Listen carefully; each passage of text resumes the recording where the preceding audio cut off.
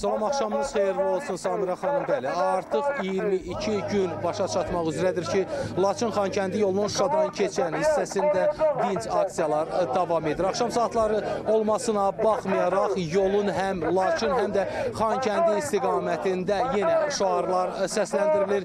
Yenə fərqli dillərdə yazılmış pankartlar qaldırılıb. Məqsəd isə əlbəttə məlumdur. Ərazilərimizə törədilən ekoloji terrorun, ekoloji cinayətin dayandırılmasıdır. Ümumiyyətlə ötən gündən fərqli olaraq bu gün avtomobillərin hərəkətinin də şahidi olduq. Ötən gün ümumiyyətlə aksiya keçirilən əraziyə heç bir avtomobil yaxınlaşmamışdı.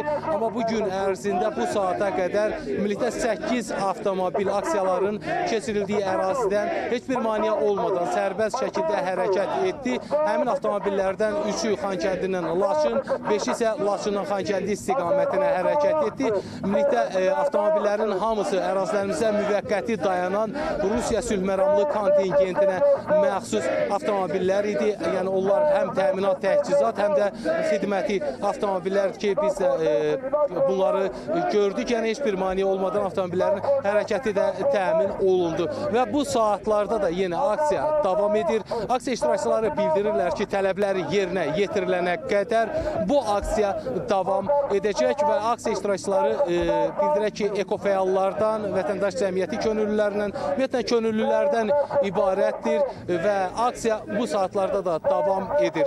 Bizdən hələlik bu qədər sözü, sözü yenidən sizə buraxırıq. Samirə xanım.